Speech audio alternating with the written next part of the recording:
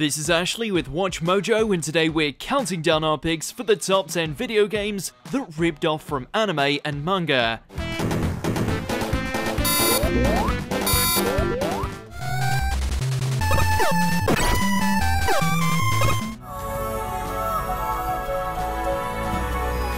For this list, we'll be looking at games throughout history that we felt most obviously, and with seemingly no regrets, borrowed elements of various popular anime and manga. Can you think of any video games that ripped off anime? Let us know in those comments below, and as always, you can catch me on Twitter at AshJBow, so head over there, give me a follow, and let me know which anime list you want to see next.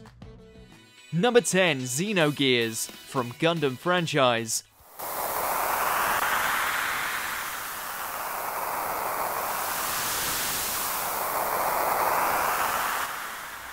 While it's very clear that Xenogears is a love letter to the mecha genre, it clearly takes many notable cues from various series in the Gundam franchise. Graf, who serves as the foil to the protagonist, is clearly based on Char, as they both don a mask and wear red. How's that? The unstable girl Ellie pilots the mecha Vierge, which uses abilities very similar to the Qubeley that was also piloted by the equally unstable Puru in Gundam Double Zeta. And while the iconic G Gundam pose is also featured in the game, one of the most notable scenes is when all the mecha get together and stop a missile strike, a scene that is clearly based on the Char's counterattack finale.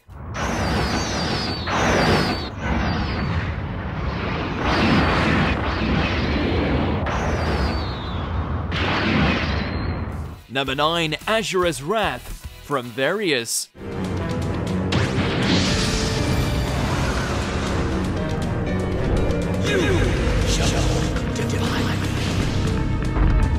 Asura's Wrath borrows so much from various anime that it could probably have its own dedicated top 20 on the matter, but for this entry, we'll just focus on some of the more interesting aspects.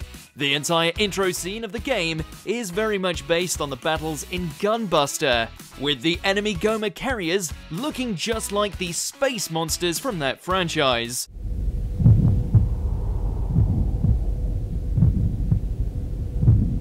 Also, the climactic finale is a big shout out to Gurren Lagann's second movie, with a supermassive mech battle leading into a one on one fistfight in a space void.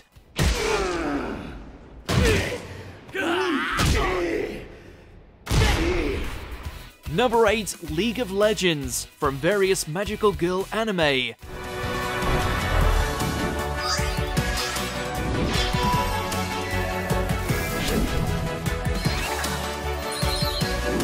While a lot of these skins featured in this extremely popular MOBA are based on many parts of pop culture, none of them seem to stand out quite so much as the Star Guardian line. Let's show them what we're made of.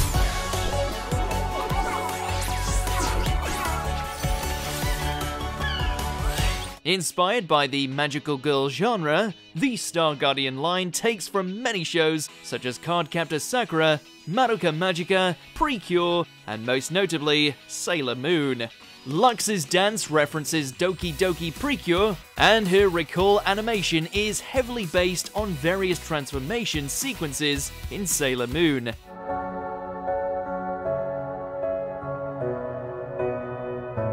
Number 7, Rondo of Swords, from Fate Stay Night. Here I go. This obscure strategy RPG was released for the Nintendo DS in 2008 and features a character who shares a lot with everyone's favorite anime interpretation of King Arthur, Saber.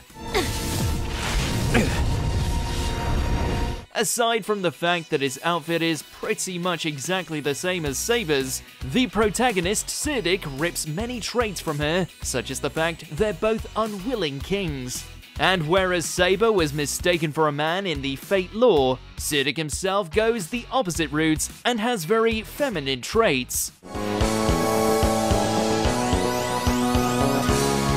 Number 6 Mega Man from Astro Boy.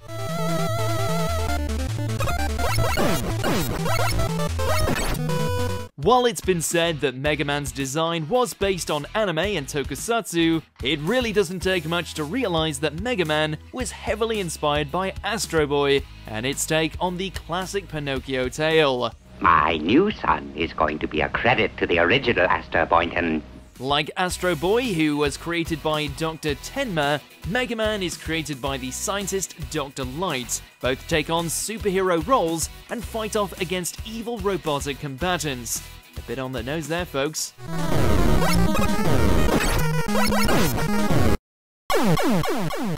Number 5 Sonic the Hedgehog 2 from Dragon Ball Z.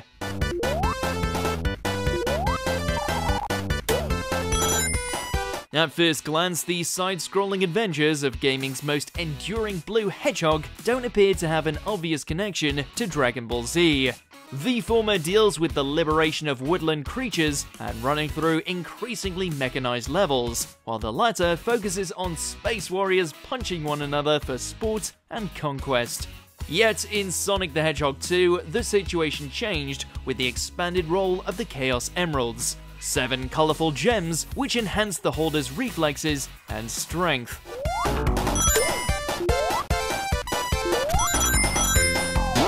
The similarity of the seven Dragon Balls aside, there's also the matter of how Sonic's superpowered form is called Supersonic and involves his fur turning bright yellow. Hmm.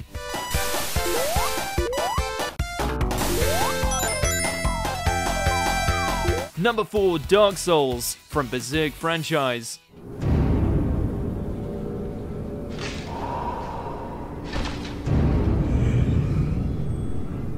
Many a person has found themselves drawn to the melancholic, brutal, and challenging world of Dark Souls. From its menagerie of grotesque beasts to the subtleties of its world building, the game enthralls and engages to no end. What's not immediately apparent about the game, though, is how much of it is built on affectionate nods to Berserk.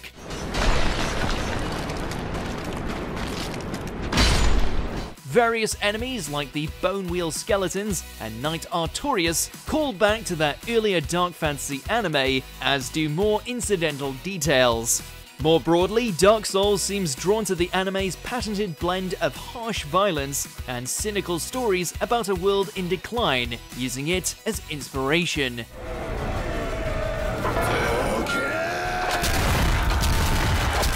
Number 3 Persona 4 from JoJo's Bizarre Adventure Diamond is Unbreakable.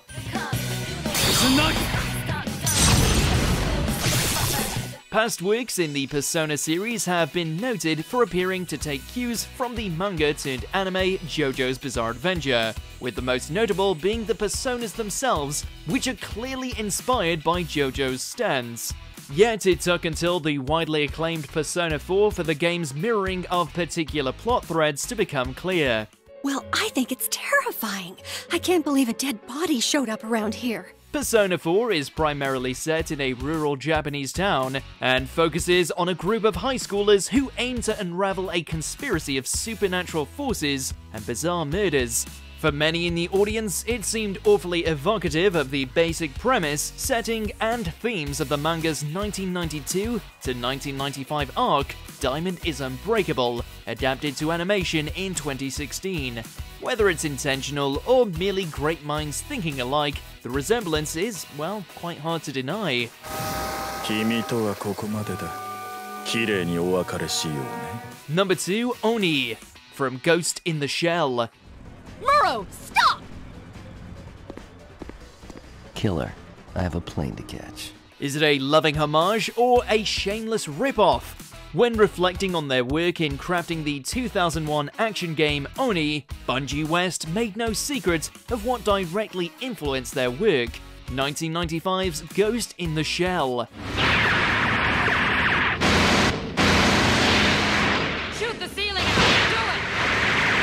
That landmark animated film peeks out from every facet of Oni, a dystopian future cityscape, a superhuman heroine, working for a questionable government agency, ruminations on the subject of humanity, and anti-authoritarian resistance. So committed were Bungie to paying tribute that even the game's name is a knowing reference. Oni is a mythological creature sometimes depicted as a supernatural spirit known as a yokai. Unfortunately, that means you could pose a threat to me. I can't allow that. Before we continue, be sure to subscribe to our channel and ring the bell to get notified about our latest videos. You have the option to be notified for occasional videos or all of them. If you're on your phone, make sure to go into your settings and switch on notifications. Number 1 Extinction from Attack on Titan. The last time this Ravenii will mess with a sentinel. Tell us if you've heard this one before. A species of towering beasts begin targeting the last of humanity in a medieval setting. The only chance for survival is a handful of fighters who swing around with grappling hooks and who slay the beasts by cutting into the back of their necks.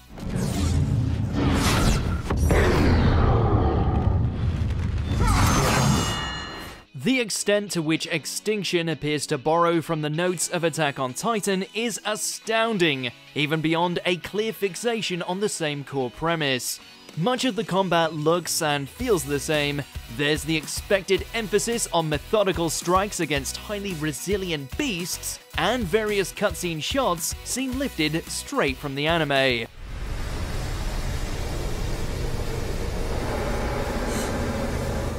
You agree with our picks? Check out this other recent clip from Watch Mojo and be sure to subscribe and ring the bell to be notified about our latest videos.